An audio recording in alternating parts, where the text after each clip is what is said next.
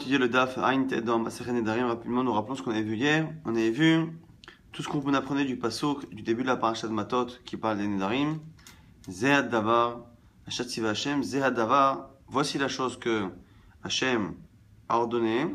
Et si Zehad Davar, ça vient toujours exclure autre chose. Donc, première halakha que l'on apprend selon tout le monde, Zehad Davar, que Atarat Nedarim et Afarat Nedarim sont deux choses différentes.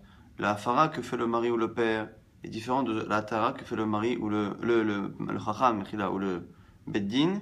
Et donc, si le mari a annulé le vœu en utilisant la formule du Chacham, ou l'inverse, le Chacham a annulé en utilisant Moufar, l'expression que le mari ou le père doit utiliser, eh bien, ça ne marche pas, c'est ce qu'on apprend finalement de Zehadava. Maintenant, selon Beth en tout cas, puisque ce Zehadava est écrit ici, mais il est aussi écrit ailleurs, la paracha de Shroutechous des Korbanot, qui nous dit qu'on n'a pas le droit de sacrifier un Korban en dehors du Beth Amikdash, eh bien, ça vient nous apprendre le fait que Zehadavar soit en trop là-bas dans la paracha de Korbanot, ça vient nous apprendre aussi Xerashava, qu'il y a d'Alachot, que, qui passe finalement de Nedarim à Shroutechous, de Shroutechous de Korbanot à Nedarim, c'est quoi? C'est que dans Nedarim, on voit qu'il y a un certain point qui ne concerne que Racha Matot. Marqué Vaidavar Moshe El Racha Matot Israël. Et d'un autre côté, dans Shrotechos, dans la Shrita là-bas, du Korban qui ne doit pas être fait justement en dehors du Betamigdash, on dit là-bas qu'il a dit Taber El Aaron, El Banav, El Kol Ben Israël. Parle à Aaron, à ses fils et à tous les Bnei Israël. C'est-à-dire que là-bas, cette mitzvah, elle a d'être universelle. Alors finalement, que qu'apprend-on chacun de l'autre? Alors, on apprend que ce qui est universel dans la shrita, le fait que ça concerne tout le monde, on le transpose dans Nedarim, on avait dit, et que finalement, le Neder aussi peut être annulé par quiconque. Lorsqu'on fait un beddin de 3, il peut annuler par quiconque. Ah, comment comprendre que de l'autre côté, on dit que, euh, que c'est c'est que les personnes importantes? Ça dépend si on fait la, la, la terre avec 3 ou avec 1. Si on fait avec 1, il faut une personne qui s'y connaît, quelqu'un d'important. Si on fait à 3, on peut prendre des idiototes. Et l'inverse, le côté Racham Matot, qui en quoi ici Racham Matot, on peut le transposer dans, dans la Shrita, c'est que dans le Korban, c'est qu'un Korban, finalement, peut-être, selon Batilel, annulé. Quelqu'un qui s'est engagé à faire un Neder Ekdesh. Non pas qu'un Neder de Issour, mais un Neder d'apporter un Korban. Cet engagement du Korban aussi peut être annulé par un Rachamatot, par un Chacham, qui vient faire à Tara de cet engagement. Et on avait dit que Bet il n'était pas d'accord, donc il ne faisait pas la Xerashava, parce qu'il ne tenait pas cette halakha Lui pensait, Bet qu'on ne peut pas annuler un vœu euh, qui est lié à un engagement d'apporter un Korban. Et donc, du coup, l'halakha qui concerne le Beddin, qui est autorisé euh, même avec des gens qui ne sont pas des chachamim par rapport à Nedarim, d'où il apprend Il apprend dans nos passos, Vaïdaber Moshe, et Moadé Hashem, et le Israël, dire que finalement, les Moradim, le Beddin qu'on a besoin pour les Moradim, est différent que le du Beddin que l'on doit utiliser pour justement annuler un Neder, que pour euh, sanctifier le mois et donc fixer la date des, des Moradim, il faut un Beddin de Mumchim, alors que dans les Nedarim, il n'y en a pas besoin. On avait terminé sur Nalchad Rabbi Hanina, qui disait que lorsque la Torah avait dit que l'on n'a que la journée pour annuler le mari ou le père, c'est lorsque le mari ou le père n'a pas confirmé ou s'est tu, mais que son silence est soit un silence pour confirmer, soit un silence neutre. Mais le chidouj Rabbi Hanina, c'est que si son silence est dans le but d'annuler, mais simplement il le fait par exemple les Meikat pour l'énerver, donc il veut en fait la faire patienter avant de lui annuler, et donc son silence n'est pas un silence neutre, ni un silence dans le but de confirmer, mais un silence dans le but de valider plus tard, de, de, d'annuler plus tard, eh bien, il a jusqu'à 10 jours, c'est le chidouj Rabbi Hanina. Et là-dessus, la Gemara va apporter plusieurs objections. La première, elle est à l'avant-dernière ligne du Daf Ain Het Amoudwet, c'est là qu'on reprend. Mativ Rafrizda, avant-dernière ligne. Mativ Rafrizda, Rafrizda objecte avec une braïta. Chomer Behakem Miba. Voici les règles qui sont plus strictes dans la confirmation d'un éder que dans l'annulation. Et les règles qui sont l'inverse. Ou Baefer, Hakem, les règles qui sont plus strictes dans euh, l'annulation d'un éder que dans la confirmation. Chomer Behakem. Quelle est la rigueur qu'il y a plus dans la confirmation? Que le silence en général du mari eh bien, confirme, alors que le silence ne n'annule pas un éder. Et quoi d'autre encore? Qui aime Bélibo possibilité d'annuler dans son cœur, alors que ça ne marche pas. Euh, donc, Kemelibo Kayam, Belibo et Moufa. Par contre, celui qui veut annuler un vœu dans sa tête, tant qu'il ne sort pas quelque chose, un comment qui lui tend l'objet qu'on a vu Shabbat, il lui tend l'objet et dit tiens, prends-le. S'il n'a pas sorti quelque chose de sa bouche, ça ne marche pas. Autre chose, qui aime En la faire, et faire En Yachol la Là, par contre, c'est quelque chose d'ici d'égal, c'est que si il a fait, il a validé le vœu, il ne peut plus l'annuler. S'il l'a annulé, il ne peut plus le valider. En tout cas, ce qui est intéressant, c'est qu'on a cité deux halachot, deux halachot, qui sont plus compliqués, plus stricts dans euh, la confirmation que dans l'annulation, et finalement une qui a l'air d'être plus ou moins égale. Mais en tout cas, qu'est-ce que l'on voit ici? On a vu que dans les cas qui sont plus stricts dans la confirmation que dans l'annulation, eh bien finalement, on a deux choses. La fois où on dit qu'il a confirmé le neder dans son cœur, par sa simple pensée, et dans le cas où il n'a fait que se taire. Alors, de quel silence parle-t-on? Quelle est la kavana? Quelle est l'intention du bonhomme dans son silence? On a dit lave, les kayem. N'est-ce pas que c'est un cas où il se tait dans le but de confirmer? On a dit non, c'est pas possible. Pourquoi? Parce que si c'était ça, Aïnou, qui est bokayam. Parce que si le cas où on dit qu'il se tait, où il est silencieux, c'est un cas où il a l'intention de confirmer, eh bien on se retrouve déjà à parler du cas suivant. Le cas suivant, c'est Kiembelibo, c'est quand il ne fait que confirmer dans sa tête. En silence, évidemment, mais dans sa tête. Donc, du coup, le cas précédent, on dit qu'il se tait. C'est pas le, c'est pas le même cas, ça doit être un autre cas. Donc, c'est un cas où la kavana est différente. Et là, Shotek Stam. Donc là, on m'a dit, c'est Shotek Stam. Et donc, si c'est Shotek Stam, eh bien, on a Shotek Stam à ce moment-là. On a finalement, dans le cas où il est il, se tait et il ne pense à rien, à ce moment-là, cela confirme.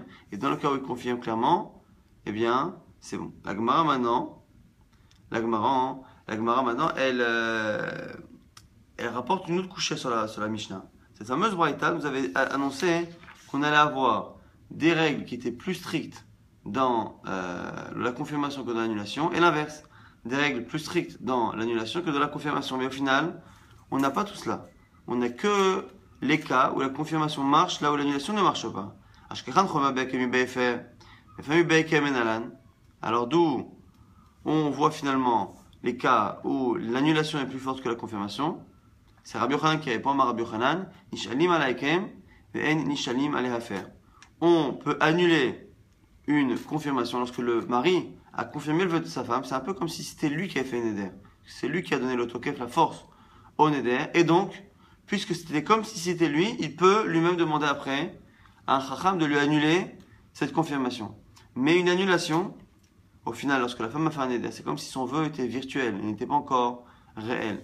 Tant que le mari ne l'a pas confirmé ou qu'il n'a pas laissé passer la journée. Lorsque le mari l'annule, il a fait en sorte que cette chose virtuelle, eh bien, disparaisse totalement. Donc, du coup, on ne peut pas annuler cette annulation. On peut, oui, annuler une confirmation, parce que la confirmation c'est comme un éder, donc ça s'annule, il y a quelque chose à. Mais annuler une, une annulation en elle-même, ça ne veut rien dire. Donc du coup, c'est ça qui est différent dans FR, dans annulation, que dans la confirmation. Donc du coup, on a résolu la première kusha, mais l'agma va continuer avec une autre kusha. Mativ Rav Kahana. Rav Kahana maintenant object. On a une braïta qui dit quoi? Donc dans le passage là-bas, on voit que la Torah se répète beaucoup. Elle dit en deux fois. Si le mari se tait pendant la journée, et qu'il a confirmé son éder. Donc le fait de se taire confirme le néder. Et bien dans le même verset à la fin on dit, et qui motam, qui Et bien le vœu, il les a confirmés. Les vœux, il les a confirmés qu'arrive sais-tu? Donc ici on a une répétition. On nous dit que lorsqu'il sautait, ça confirme le Nedarim. Et à la fin, on nous redit en conclusion que les vœux ont été confirmés parce qu'il s'est tu. Donc pourquoi répéter deux fois? Et c'est là que la Braïta va dire quelque chose qui est complètement contraire à ce qu'a dit Rabbi Hanina. La Gemara dit de quel cas parle-t-on?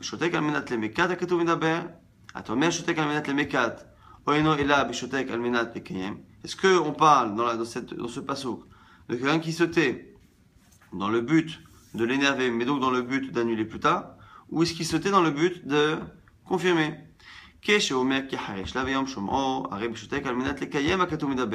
Lorsque je vois la première chose qui va dans le verset, qu'il s'est tu, il a confirmé parce qu'il s'est tu, j'imagine que c'est un cas où il s'étudie dans le but de confirmer. C'est le cas le plus facile à, à apprendre. Ta fasta moi, ta fasta. J'apprends le, le, le le moins, le, plus évident. C'est quoi? C'est de dire que lorsqu'il a envie de, confirmer mais qu'il se tait, eh bien le silence est valable. Hamani mekayem, imharesh laisha. Mais à quoi maintenant c'est à la répétition du pasouk Le fait qu'au début du verset, on m'a déjà tout répété, mais on m'a dit déjà que s'il se tait, eh bien ça confirme le vœu. Alors quoi? C'est forcément le cas suivant. C'est donc forcément un cas où il se tait dans le but de l'énerver, donc de d'annuler le, le Ce qui veut dire qu'ici, la répétition, le fait que le silence qui confirme soit répété deux fois dans le verset, une première fois, ça m'apprend le cas le plus facile à apprendre, c'est le cas où il se tait dans le but de confirmer, et après, puisque c'est répété, on apprend l'étape suivante, c'est le cas où il se tait, mais dans le but finalement d'annuler. L'agma dit à l'object, elle dit mais pourquoi la Braïta a dit ça? L'agma dit déjà tchioufta. Tchioufta, c'est que la, la est bien en objection avec Rabbi Chaina. Maintenant l'agma veut comprendre pourquoi la, la Braïta a dit ça. Elle dit le Belokim ha beshotek amenat les kayem veha beshotek stam. Dit maintenant il n'y a pas de niveau, il y a trois. Pourquoi on n'a pas dit que la première partie du pasouk, la première partie du pasouk qui parle d'un silence qui confirme, parle du cas le plus facile à, à imaginer, c'est quoi? C'est le cas où il se tait dans le but de confirmer. Et la seconde fois où c'est marqué, on devrait dire que c'est le cas suivant, c'est quoi? S'il se tait sans aucune pensée, ni il veut confirmer, ni il veut annuler, il ne sait pas, il n'y pense pas, et donc on apprend ce cas-là. Mais le troisième cas, qu'il se tait dans le but de d'annuler, ne devrait pas être cité dans le verset. Donc comment la Braïta sait que l'on va jusqu'à cette troisième étape? On m'a dit Il y a trop de psukim, trop de versets, c'est-à-dire que nous disent les commentaires ici, c'est que finalement, même si c'est marqué deux fois, ce processus-là qui se tait et qui le confirme, finalement, le verbe se taire, eh bien, est marqué trois fois. Vim aharesh, yaharish la isha. Déjà, la première fois, c'est marqué deux fois. Im aharesh, yaharish la isha. Si terre, il se tait, à ce moment-là, avec Kim, il a confirmé, et à la fin, on dit quoi? Hein? Et Kimotam, il les a confirmés, qui est la, car il s'est tué le jour où il a entendu. Donc on a finalement trois fois c'est marqué. Et donc comme ça que la explique qu'à cause de ces trois fois, grâce à ces trois fois, on apprend que la première fois, à Haresh, ça vient m'apprendre dans ce qui se tait dans le but de confirmer. Après, il y a Harish, c'est venu m'apprendre quand il se tait dans le but, dans aucun but, avec aucun but. Et lorsque c'est marqué qui Harish la c'est venu m'apprendre même lorsqu'il a l'intention d'annuler. Donc, première objection définitive à Rabbi Hanina, Tioufta, effectivement, qui, euh, infirme les paroles de Rabbi Hanina qui disait qu'au bout de il avait encore 10 jours s'il voulait, dans l'absolu, annuler. Métiv Rava, autre objection de Rava à partir d'une Mishnah. Nadraim Chashecha, lorsqu'elle a fait un vœu, une fois que la nuit est tombée. Mais eh bien, elle ne l'a faire. Mais c'est la, Mishnah qu'on a vue il n'y a pas longtemps. Si elle a fait un vœu, on a dit, pendant Shabbat, mais à la fin de Shabbat, juste avant la tombée la nuit, il lui reste que quelques heures, quelques minutes plutôt, pour annuler. La Gmadi Amal, l'évêque et Shotek. Almenat Lemekat, Tioufta. La Gmadi là aussi. Pourquoi on ne dit pas, finalement, que dans le cas où il n'y a eu que quelques temps, quelques instants pour annuler, on peut dire que dans ce cas-là, c'est pas, c'est pas parce qu'il ne veut pas, pas parce qu'il veut le neder qu'il n'a pas annulé, c'est parce qu'il n'a pas eu le temps de se poser la question. Donc la dans ce cas-là aussi, on devrait prolonger. Si toi tu dis Rabbi Hanina que dès que la personne veut annuler, eh bien on prolonge, là aussi c'est pareil. Quand il a quelques instants, pourquoi tu ne lui prolonges pas alors qu'il se peut qu'il ait envie d'annuler, mais simplement il a, été bloqué par le fait qu'elle ait fait le neder juste avant la tombée de la nuit Tiouf, ta deuxième objection validée. Mativ Ravashi, Ravashi encore une autre euh, objection par rapport à une Mishnah. Yodea ni shesh nedarim, aval eni yodea shesh mefirin un mari qui a laissé passer le jour, il a entendu le neder. Mais finalement, qu'est-ce qu'il a dit? Je savais qu'il y avait un vœu, je l'ai entendu effectivement quelques jours. Aval eni mais je ne savais pas qu'on pouvait annuler. Donc du coup, il y a faire. Celui-ci, finalement, on décale le jour où il peut annuler, n'est pas que le jour où il, euh, où il entend. Si le jour où il entend, il ne sait pas qu'il peut annuler, eh bien ce sera le jour où il saura qu'il peut annuler que le compte à va commencer. Dans un cas où il dit Je sais qu'on peut annuler un neder. Je sais qu'on peut annuler un neder. Aval eni chez neder. Mais je ne savais pas hein, que ce type de neder-là était possible à annuler. On verra dans la Mishnah du Pérec suivant que tous les types de vœux ne sont pas forcément annulables. Donc il savait que c'était un neder, il savait qu'en général on annule les nedarim, mais il savait pas que celui-ci en faisait partie. Rabbi Meir Omer l'a fait, Rabbi Meir dit eh ben, que c'est fini. Ça ne repousse pas le temps d'annulation. Rabbi Omri va faire, Rabbi dit que oui. Mais en tout cas, on sait comprendre ici Rabbi Meir. Selon Rabbi Meir, finalement, le silence qu'il a laissé passer, c'est pas un silence neutre, c'est pas un silence pour confirmer. C'est parce que Birlal, il pensait qu'on ne pouvait pas annuler. Donc c'est comme si finalement, c'est comme le cas de Rabbi c'est quelqu'un qui a finalement laissé passer la journée, non pas parce qu'il voulait confirmer, mais pour une autre raison. Que la raison soit pour les mécats, pour énerver la femme, ou ici parce qu'il n'est pas au courant de quelque chose, ça aurait été la même chose. Lévé, qui chote également les mécats. Les tioufta, donc ça devrait, comme le cas de Rabbi Hanina, troisième objection validée. Donc on a trois objections, une d'une Braïta, deux de Mishnayot, contre Rabbi Hanina, donc a priori c'est euh, Alachad Rabbi Hanina qui prolonge lorsque le mari s'est tu pour d'autres raisons que pour la confirmer, eh bien cette halakha a l'air a priori de ne pas tenir. Adran, alach, Nara Morasa a terminé ce péric très important, très difficile de Nara Morasa. Nouvelle Mishnah, nouveau she'umefer. Voici les vœux que le mari peut annuler. On verra que tous les, les vœux ne sont pas forcément annulables. En tout cas, l'agma nous dit nedarim, comme si c'était une liste exhaustive de tous les vœux à annuler. L'agma tout de suite va objecter, car il en manque. En tout cas, parmi ceux qu'on peut annuler, les vœux pour lesquels il y a ce qu'on appelle Ainu Nefesh, que la femme se fait souffrir. Si la femme souffre d'un vœu, ce qui est marqué dans la Torah, les Anot Nafesh. Tous ces vœux-là, les Anot Nafesh, C'est le mari qui confirme, c'est le mari qui annule. Quel est l'exemple que nous donne ici Tanakama Imerchas Imlo Echatz, Imet Kachet, Imlot Kachet. La femme qui fait un éder de ne pas se laver, ou de ne pas se maquiller le visage. Cette femme-là qui se maquille pas, ou qui ne se lave pas, eh bien, souffre justement de ce néder, et ce néder-là entraînant une souffrance, le mari peut l'annuler. Rabbi aussi sera plus strict. Amar Rabbi aussi, en dit pour moi, la souffrance liée au fait de ne pas se doucher ou de ne pas se maquiller pour une femme n'est pas un néder, n'est pas une souffrance assez forte pour que cela s'appelle les anot nafesh. Et donc, moi je pense que le mari ne peut pas annuler ce type de vœu. Alors quoi? Voici ceux que moi j'estime être Nefesh.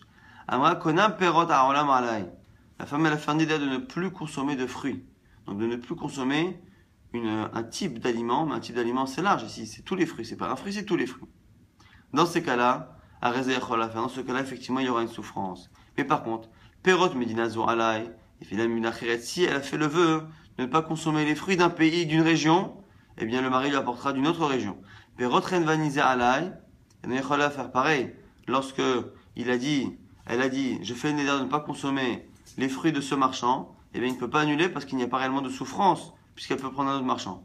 Mais par et la Et si, par contre, cette personne-là, eh bien, ne commerce, le mari ne commerce qu'avec ce commerçant-là, et bien à ce moment-là, à à faire, il peut annuler. D'ivrer Rabbi aussi selon Rabbi aussi. Donc, en tout cas, l'essentiel de la marquette Rabbi aussi et Tanakama, c'est quel est le degré de souffrance qui permet de euh, rentrer dans la catégorie de Ainu Nefesh, de la souffrance de l'âme, au point que le mari peut annuler. Selon Rabbi aussi, la douche et euh, le maquillage ne sont pas des souffrances suffisantes pour donner le droit au mari d'annuler. En tout cas, la maintenant, Michel va s'étonner sur ce qu'elle a dit. La Gemara dit Elouen. Voici les vœux que le mari annule. Comme si, comme si on avait dit tous les vœux que le mari annule, que le mari annule, c'est ceux qui sont à Einu Nefesh. Nidre, Nefesh, ou des méfaits. Quoi? S'il n'y a pas de souffrance pour la femme, il ne peut pas annuler. Vehatania, pourtant, il y a une braïta qui dit clairement. Pourquoi c'est marqué à la fin de la paracha Nedarim Voici les règles et tout qui, qui fonctionnent, ben ish le entre un homme et une femme, entre un père et une fille, entre un homme et une femme. Mais la metcha baal me fait Nedarim, chez Benol et Beda. Pour m'apprendre qu'un mari peut annuler un vœu qui le concerne. Dès que le vœu il est Benol et Bena, ben ish le entre un homme et une femme, il l'annule, même si la femme n'en souffre pas. À partir du moment où ça le concerne, il peut l'annuler. Alors la Gemara va être obligée de faire un chilo qui dit que finalement, la Mishnah n'a pas les que des vœux qui font souffrir la femme, parce qu'ils sont différents. La femme que le mari fait sera différente dans ce cas-là que dans les autres vœux que le mari peut annuler, qui sont les vœux qui les concernent tous les deux. C'est quoi? Amré, Alen ve Alen, me faire. Les deux, peuvent être peut-être annulés. Et lama, mihu enu nefesh me faire val ein ein enu nefesh, kedeita avia fara, mais qui me garesh là, il a nidra. Que nous dit c'est l'agmara Enu nefesh, un vœu qui l'a fait souffrir elle, eh bien, me faire l'olam, l'annulation du mari sera éternelle. Aval ein va ein enu nefesh. Lorsqu'il n'y a pas de souffrance chez la femme. Et donc le vœu ne concerne que l'homme et la femme. Et donc son droit à lui, c'est parce que justement ils sont mariés. Et eh bien du coup, l'annulation ne sera valable que tant qu'ils seront mariés. Qui des routés lorsqu'elle est encore euh, à sa charge, on va dire, sous lui. Avia fara la fara l'annulation marche.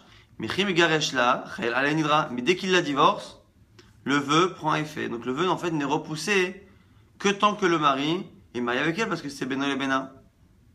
Ça c'est la première proposition de la Gemara. Donc la Gemara maintenant va euh, détailler finalement les conclusions de ce qu'on vient de dire. Donc finalement, Beidvarim, chez Benol et Bena, chez Nefesh, lorsqu'il y a une, un éder qui concerne l'homme et la femme, mais qui ne, ne, ne, pas de souffrance chez la femme. Nefesh, mais par contre, lorsque il y a une souffrance, le vœu ne tient pas. Nefesh, et lorsqu'il n'y a pas de souffrance, qui me là, lorsque par contre il a, s'il n'y a pas de souffrance, et eh bien lorsqu'il la divorce, le vœu prend effet. Donc du coup, la Gemara ne fait que répéter ici les conclusions halachiques. La Gemara, le sujet Vehadnan, pourtant on a une braïta qui dit quoi? Au nom de Rabbi Yochanan ben Nouri Omer, Yafer. Un mari peut annuler, lorsque la femme a fait un éder, de ne pas faire profiter son mari de tout ce qu'elle gagne comme argent. Eh bien on le dit, il peut l'annuler. Pourquoi? Chez Maïgarchena, au Suralo, on a peur qu'en fait que si il ne, euh, si il n'annule pas le neder, on a peur finalement que un jour il la divorce et qu'il ne puisse plus après la répouser. Donc ici on voit quoi? On voit que puisque la crainte que l'on a, c'est qu'une fois qu'il la divorce, il ne puisse plus la répouser, et eh ben ça donne l'impression finalement que s'il il annule le vœu maintenant, ça va régler le problème et donc même lorsqu'elle sera divorcée, eh bien le neder sera toujours annulé donc il pourra la répouser. Alma qui me fait la Fara. Tu vois bien que finalement, lorsque il la divorce et qu'au préalable, il a annulé le vœu, mais tu vois bien que l'annulation sera valable même après le, le, le, le, get, le, divorce, puisque c'est ça que l'on cherche, justement à ce que le, le neder n'existe toujours pas après le divorce pour qu'il puisse éventuellement la répouser.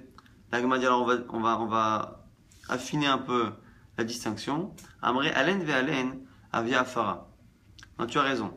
Quand elle est divorcée, eh bien le neder est encore annulé. Mais c'est plus tard que le vœu va prendre effet. Donc finalement, on va toujours garder cette notion-là de dire que lorsque le vœu concerne l'homme et la femme, eh bien l'annulation ne sera pas éternelle. Elle sera valable pendant le moment où il est marié avec elle. Elle sera même valable dans le moment où ils sont divorcés. Ce temps qu'ils sont divorcés, on aimerait encore qu'il la réépouse. Par contre, une fois qu'elle elle, a décidé de se marier avec un autre, c'est là où il n'y a plus aucune raison ici de leur permettre de se lier. Donc du coup, le Neder reprendra effet, parce que c'était Benoît le Bénin entre elle et lui. Maintenant, il n'y a plus de rapport entre elle et lui. Il y en a encore un peu, tant que l'on souhaite qu'il se remarie, mais plus une fois qu'elle est mariée avec un autre, évidemment. Alors donc finalement, Alen Valen Farah, dans les deux cas, c'est Farah. Et là, Nidre no Inefesh, fait Ben Asmo, Ben Acherin. Alors c'est quoi la différence? C'est que lorsqu'elle fait, fait un Neder, qu'il a fait souffrir elle, comme c'est pas un Neder, dont l'autorisation de l'annuler est liée à leur proximité, eh bien son annulation sera éternelle. Que tant qu'elle est encore liée à lui ou tant qu'elle est liée à d'autres personnes, à Rim, à notre mari. En bahen si par contre il n'y a pas des choses qui l'a fait souffrir, les asmo fait, il l'a fait, il annule le vœu tant qu'elle est encore liée à lui, soit par le mariage, soit par la possibilité de la réépouser. La la fait, dès qu'elle est liée à notre homme, il ne peut plus annuler. Et c'est là qu'on a enseigné. Et donc notre Mishnah nous dit comme ça. Et nedarim shou mefer ben ben Voici les vœux, la Mishnah chez nous. Voici les vœux que le mari peut annuler définitivement, que ce soit lorsqu'elle est encore liée à lui ou quand elle sera liée à quelqu'un d'autre. C'est pour ça qu'on a parlé que de la fara, finalement, euh, qui est liée à Ainu Nefesh, à un vœu qui fait souffrir la femme. Donc finalement, qu'est-ce qu'on a vu dans ce DAF? On a vu trois objections Rabbi Chaina, Rabbi qui disait que lorsque le mari se taisait pendant la journée, mais qu'il avait l'intention d'annuler, on repoussait à 10 jours le temps d'annulation, on avait eu trois objections, une d'une Braïta, deux du Mishnah sur cet avis de Rabbi Hanina. Après, on avait enchaîné sur le nouveau Pérec et la nouvelle Mishnah, qui elle disait que le vœu, le mari annule les vœux qui font souffrir la femme. Et là-dessus, la Gemara se demandait pourquoi finalement on euh, ne citait pas aussi les vœux qui ne faisaient pas souffrir la femme, mais qui concernaient le mari. Car partir ça concerne la relation homme-femme, eh bien il peut l'annuler.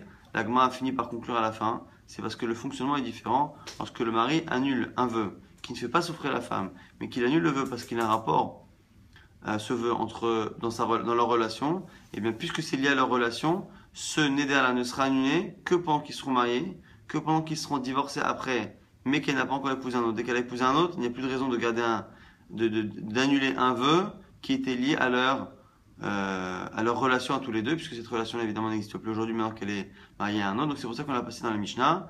Et au passage aussi on avait vu que par rapport à ce qu'on appelle la Nefesh, les vœux qui font souffrir la femme, on a une marque loquette sur le degré de souffrance qui permet d'annuler le vœu. Selon Tanakama, rien que le fait de ne pas se doucher ou s'engager à ne pas se maquiller, c'est déjà une souffrance. Alors que selon Rabbi aussi, il faut quelque chose de plus compliqué, comme le fait de s'interdire les fruits ou s'interdire toute une part de l'alimentation. Il n'y a que dans ce cas-là qu'on appelle ça une effet que le mari ou le père pourra annuler.